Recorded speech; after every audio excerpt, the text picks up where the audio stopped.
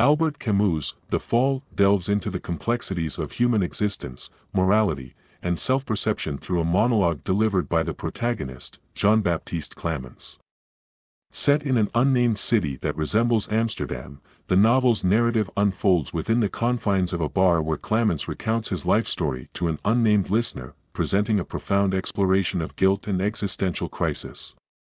Clamence, once a successful lawyer in Paris, portrays himself as a man who once enjoyed the respect and admiration of his peers. He reveals that his seemingly impeccable life was a facade, underpinned by vanity and a deep-seated hypocrisy. Through his monologue, Clamence unravels the disillusionment he experienced when he became acutely aware of his own moral failings.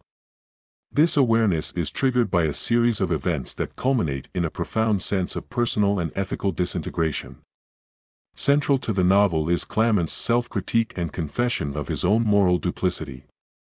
He admits to his role in perpetuating a false sense of righteousness while, in reality, being driven by selfish desires.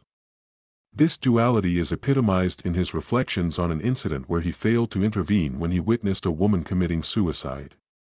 This moment becomes emblematic of his broader failure to live up to his own ideals, revealing the chasm between his public persona and private guilt.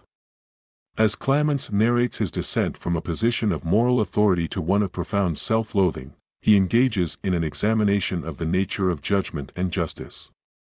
He grapples with the concept of hypocrisy, illustrating how he once condemned others for transgressions he himself was guilty of. The narrative explores the idea that people often project their own moral shortcomings onto others as a means of self-justification. The novel's setting in a gloomy, indistinct city mirrors Clamence's inner turmoil and existential questioning. The city, marked by canals and fog, becomes a metaphor for the murky waters of Clamence's own conscience. This atmosphere of decay and ambiguity reflects his internal state and serves as a backdrop to his confession.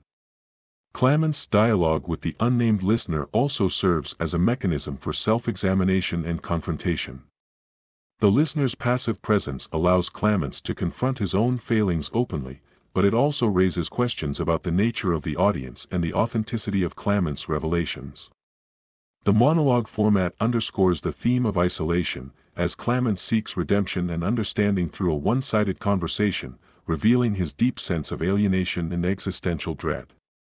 The theme of judgment is particularly salient in The Fall.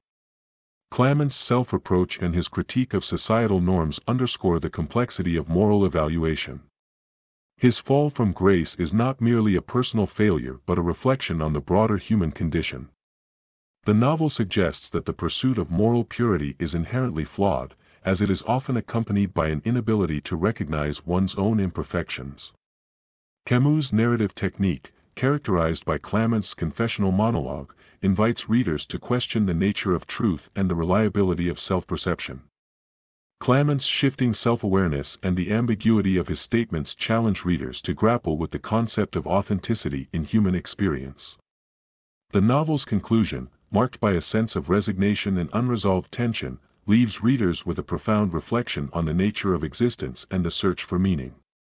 In sum, The Fall is a compelling exploration of the themes of guilt, hypocrisy, and existential despair.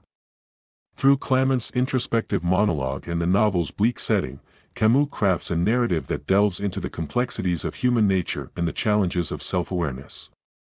The novel's exploration of moral ambiguity and the human condition resonates with Camus' broader philosophical concerns, making it a profound and thought-provoking work.